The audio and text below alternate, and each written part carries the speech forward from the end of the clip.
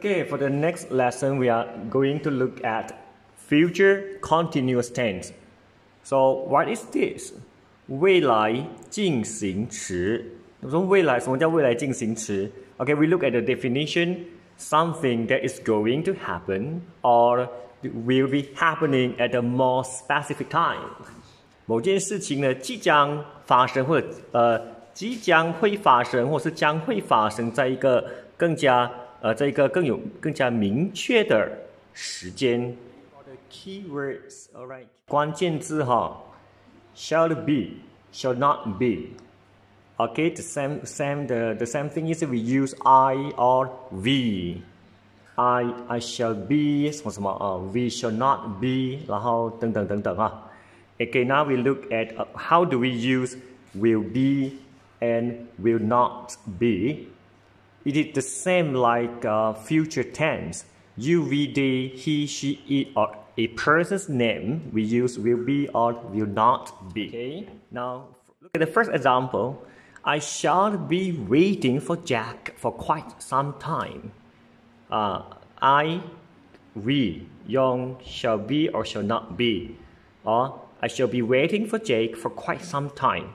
我我将会 花好一些时间来等待 Jake 哦，我将会花好一些时间来等待 Jake。So shall be 看到吗？动词呢，I N G，然后 for quite some time is to show uh a more specific time.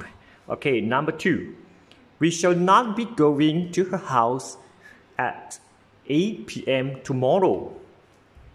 我们呃，我们将不会在明天八点呢去他的家。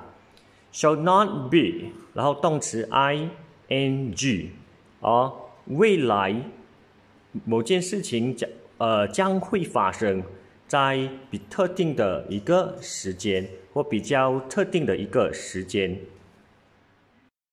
Right now we look at will be or and will not be. So how do we use so at same thing, you know that after will be and the verb is ing, they will be moving the boxes away soon. Uh, you see, you, we, they, huh?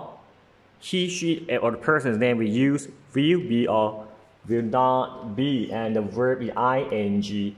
Let me read for you again. They will be moving the boxes away soon. 他们呃即将啊把那个 boxes 移开。Here, number two, Jane will not be giving her credentials to anyone so easily. Jane 呢，她她将不会轻易的把她的那个个人资料，或者是那个呃主要的资料给任何人。So now we read again. Jane will not be giving her credentials to anyone so easily. Okay, uh, for boys and girls, you have to understand that for future, what is the difference between future tense and future continuous tense? Future tense 呢，shall shall not will will not 动词原本字。好，future continuous tense 呢，它有 be，OK，、okay? 不管是 shall be shall not be，will be 或 will not be。 动词呢是加 i n g，并且呢，它比较有在那个比较着重在特定的时间，is in a more um a specific time. Okay, thank you.